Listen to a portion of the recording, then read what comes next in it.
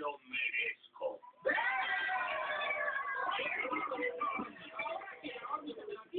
Podemos ver cómo el animal tacha su sed. Sexual. ser. En este caso, es un honor para mí declarar la semana